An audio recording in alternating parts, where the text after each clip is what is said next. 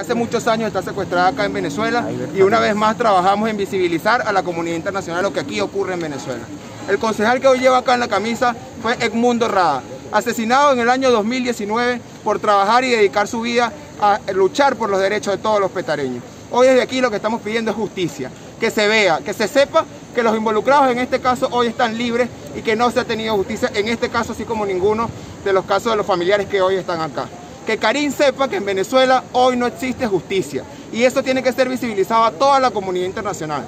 Sabemos que mientras esté Maduro en el poder, aquí no va a existir justicia, no va a existir libertad y no vamos a poder tener claridad en lo que ocurrió con nuestros familiares. Pero desde acá exigimos que se haga una investigación y que sea para el mundo que aquí en Venezuela existe la justicia secuestrada por Nicolás Maduro y que no vamos a tener resultados en cada uno de estos casos. ¿Crees tú que esta visita de Karim Khan también está secuestrada?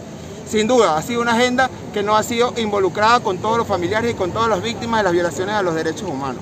Se han hecho solicitudes en lo público, en lo privado, se han buscado todos los medios para que sean atendidos y para que los familiares seamos escuchados y hasta este momento no se ha tenido respuesta. ¿Qué le dirías a Karim Khan si lo tuviera Le diría a Karim Khan que vea la realidad que vive Venezuela, que escuche el sentir de cada uno de los familiares y las víctimas de la persecución en estos últimos años, que han sido cientos de familias las que han sufrido la persecución de Nicolás Maduro y que aún así nos mantenemos firmes dando la cara y luchando por tener libertad. ¿Cree que a pesar de que no se haya reunido, eso va a impactar en la decisión de Khan, sobre todo en el caso de Venezuela 1, que está por salir? Bueno, justamente por eso estamos haciendo esta actividad. Estuvimos hace unos días en el Perú, hoy estamos acá desde las afueras del helicoide visibilizando.